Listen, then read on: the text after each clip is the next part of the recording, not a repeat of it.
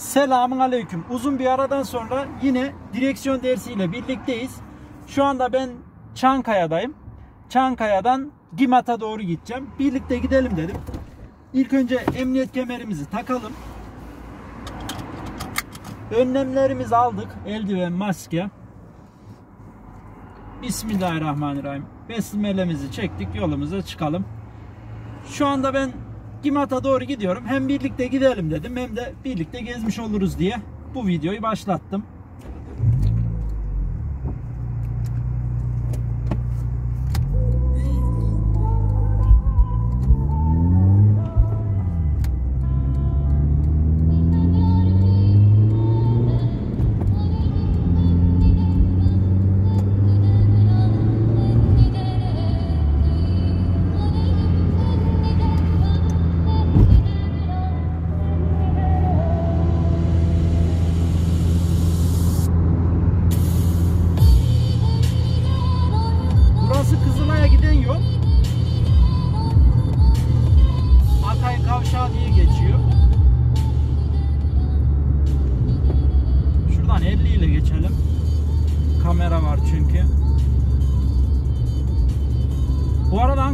Sokakları çok aşırı kalabalık değil. İnsanlar duyarlı olduğu için dışarıya pek fazla çıkmıyor.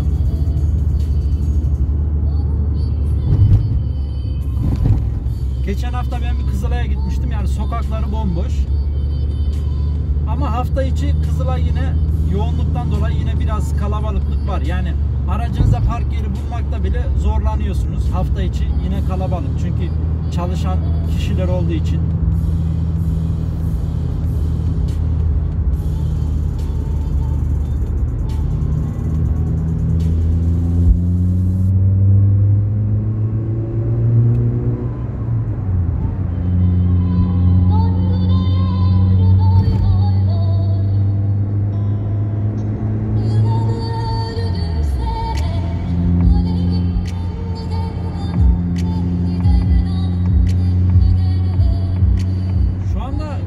Gözlemlediğime göre dünya bayağı bir değişti. Yani insanların yaşantısı olumsuz etkilendi bu virüsten dolayı. Yani Allah insanlara yardımcı olsun. Sağlık şifa versin. Bir an önce tüm dünyadaki bu hastalıktan insanlar kurtulmasını diliyorum.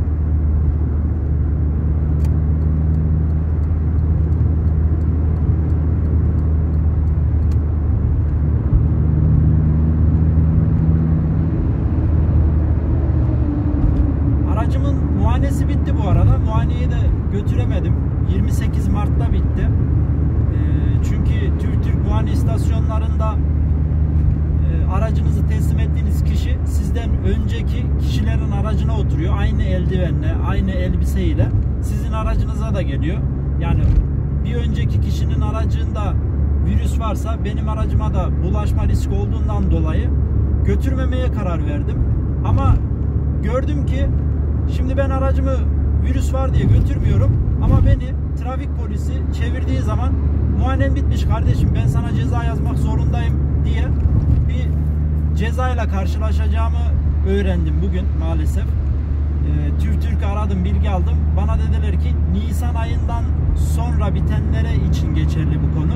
Ama yanlış. Çünkü ülkemizde 11 Mart'ta ilk vakayla karşılaşma oldu ve 11 Mart'tan 28 Mart'a kadar hasta insan sayısı rahatlıkla 20 bini 30 bini geçti.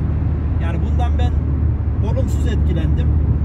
Bir bakacağım e, duruma göre muayeneye götürebilirim aracımı. Çünkü ben trafikte gezen bir kişiyim. Sürekli Ankara'da yaşadığımız için de polis çevirmesi oluyor. Yani beni şu anda bir polis çevirse aracıma ceza yazacak. O yüzden ben bundan hoşnut olmadığımdan dolayı bakalım belki götürebilirim aracımı muayeneye. Muayene videosunu da çekerim. Bundan sonraki video muayene nasıl yaptırılır, muayenenin aşamaları nelerdir diye onları anlatırım. Bu arada burası Eskişehir yolu. Tarafımızdan Aş diye gidiyorsunuz. Otobüs terminali. Zaten gitseniz de şu anda boş. seferler, otobüs seferleri iptal edilmiş durumda. Armada alışveriş merkezi var. Next Level var. Evet hayat değişti. Şu anda AVM'lerde falan giden insan sayısı çok az, nadir.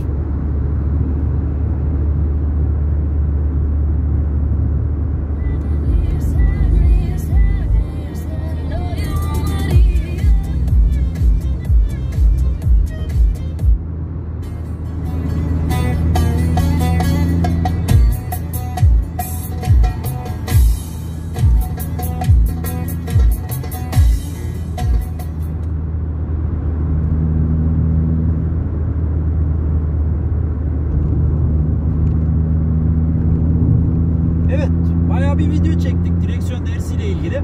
Kanalımda ben e, şu anda YouTuber nasıl olunur? YouTube'dan para kazanma nasıl oluyor? Bunun hakkında bilgi vereceğim. En azından e, insanlar alternatif iş olarak YouTube işini de yapabilir.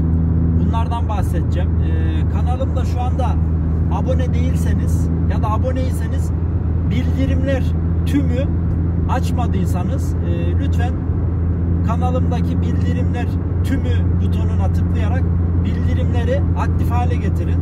Çünkü e, bu konuda videolar çektiğim zaman size de bildirim gelsin. En azından fikir edinirsiniz. Hayatınızda bir B planı iş olarak e, YouTuber'luk nasıl yapılır? Neler gerekiyor? Nelere dikkat etmemiz gerekiyor? Bunlar hakkında bildiğim bütün bilgileri size şeffaf olarak yani ben neyi biliyorsam aynen benim bildiklerimin hepsini siz de bileceksiniz. Bunu da hiçbir ücret talep etmeden e, sizlere bedavadan sunacağım. Zaten ben direksiyon eğitimi de verdiğim zaman kimseden şey, bir para talep etmedim. Şunu soruyorsun, bunun cevaplamak için ben bunun parasını istiyorum. Kesinlikle demedim. Yine YouTuber'luk işinde de neyi biliyorsam A'dan Z'ye size anlatacağım. Hatta bir iki birkaç bilgi vereyim. En azından bu videoyu izlerken kafanızda oluşur. YouTuber'luk nedir abi, ne değildir? Biz de yapabilir miyiz? Neler gerekiyor? Onun hakkında kısa bilgi vereyim. Hem sohbet etmiş oluruz. Şimdi YouTuber'luk bilindiği gibi YouTube'dan insanlar para kazanıyor. Bunu haberler vesilesiyle ülkemizde e, duymayan neredeyse kalmadı. Daha öncesinde de bilen insanlar varsa evet biliyoruz insanlar YouTube'dan video çekiyor, para kazanıyor, reklam çıkıyor. Bunu herkes biliyor. Ama bunu bilen herkes bu camiadan YouTube'dan gelir elde etmiyor. Neden? Nasıl yapıldığını bilmiyorlar. Nasıl yapıldığını bilmediği için de buradan e, gelir elde etme eğiliminde bulunmuyor. Çünkü yani ne yapacağını bilmiyor.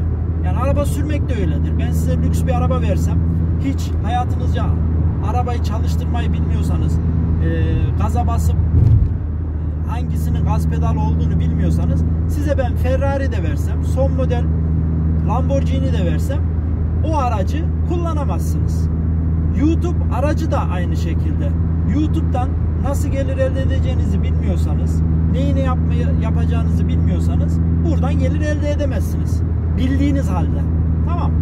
Şimdi YouTube'dan para kazanmak için ben size anlaşmayı anlatayım. Şimdi YouTube size diyor ki ben bir e, platformum, video platform sitesiyim diyor. Ben diyor insanlardan diyor para alıyorum diyor. Mesela markalardan. iPhone'dan para alıyorum. Araba markalarından, otellerden. Reklam veren insanlardan işte şampuan markasından ben diyor reklamını oynatmak için diyor para alıyorum diyor. Bu reklamı da diyor senin diyor videonda oynattığım zaman diyor bundan senin de hakkına pay düşüyor diyor. Ben diyor tamam diyor ben sana senin videonda kaç tane reklam çıktıysa onun adedine göre diyor ben sana elde ettiğim gelirden pay vereceğim diyor. Yani anlatabildim mi? Mesela BMW araç firması YouTube'a diyor ki ya ben yeni bir model araç çıkarttım. Bunun reklamını işte 1 milyon insana ulaştır diyor. YouTube'da diyor ki tamam diyor kardeşim ben senin arabanın reklamını yaparım ama diyor örnek veriyorum 100 milyar ben para istiyorum diyor. 100 bin TL para istiyorum diyor. Bu 100 bin TL'yi alıyor. Çevirme mi var? Yok. Yeşillik çalışması var. Bu 100 bin TL'yi alıyor YouTube ve video kanalında youtube.com'da bu reklamı yayınlamaya başlıyor. Neyi yayınlıyor? İşte yeni çıkan BMW otomobili yayınlıyor. Sen de diyelim ki Anka Park'a geldin gezdin. Videoyu çektin yükledin reklamları aktif ettin. Senin Anka Park videonda bu BMW reklamı çıkarsa YouTube diyor ki bak diyor sen diyor olmasaydın Anka Park videosunu yüklemeseydin ben diyor bu BMW videosunu yayınlayamayacaktım diyor. Sen yayınladığın için senin hakkına da diyor işte kaç tane yayınlandı BMW reklamı? 100 tane. 100 tane de senin hakkına düşen 1 TL diyor. Örnek veriyorum tamam 1 TL'yi de senin hesabına yatırıyor. Anlaşma bu. Siz ne yapacaksınız? Az önce dediğim gibi Anka Park'a geldin, yemek yaptın, araba kullandın, lüks bir otomobil gördün ya da kedi köpek gördün. Yani ne gördüysen bunun videosunu çektin. Bunun videosunu çektin. YouTube'a yükledin, reklamları aktif ettin ve sen de bu camiadan para kazanmaya bu şekilde başlayabilirsin. Yani yapacağın olay bu. Bir tane Gmail hesabıyla YouTube kanalı açıyorsun. Kanalının ismine yazıyorsun işte Ayşe Fatma Ali Veli. Yazdın. Ondan sonra videoyu yükledin. Reklamı açtın. Reklam çıktı. Sen de hakkına düşen payı alıyorsun. Asıl mantık bu. Bunu tam manasıyla e, eğitim şekliyle ben YouTube'a videolar oluşturacağım. Yani belki bu video sayısı 50'lere e, 100'lere ulaşacak. Bu videoları izlediğiniz zaman siz de buradan benim nasıl gelir elde ettiğimi, ne kadar gelir elde ettiğimi görmüş olacaksınız. Dilerim siz benden daha çok gelir elde edersiniz. Hayatınızı özgürleştirme imkanı sunuyor. Yani hem zamandan tasarruf ediyorsunuz. Zaman zengini. Hem de finansal anlamda da zengin olmanızı sağlayan bir platform.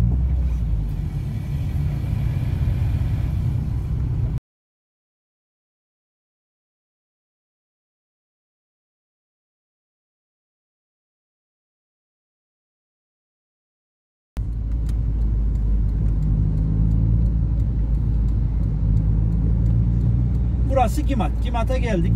Buradan evime alışveriş yapmak için geldim ben. Çünkü normal markete gidiyoruz. Burada 8 liraya satılan şey orada 15 liraya, 13 liraya satılıyor.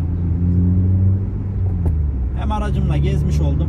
Hem bir hava almış oldum. Hem de video kaydı yapmış oldum. Buradan alışveriş yapacağım. Gideceğim evime. Dışarıya çıkamıyorum. Bu yüzden de video üretemiyorum. sigortacılık işiyle uğraşıyorum. Evden yapıyoruz artık sigorta işini.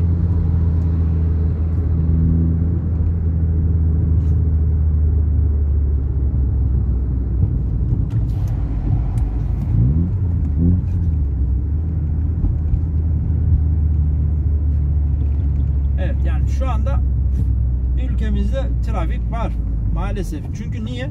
İnsan sayısı çok. Evde kalsa da insanlar ee, sokağa çıkan insan sayısı örnek veriyorum. Ankara'nın nüfusu 5 milyon 6 milyon. 100 bin insan sokağa çıktığı zaman tamam zaten trafik olmasına yetiyor. Market de dolu oluyor. Her yer dolu.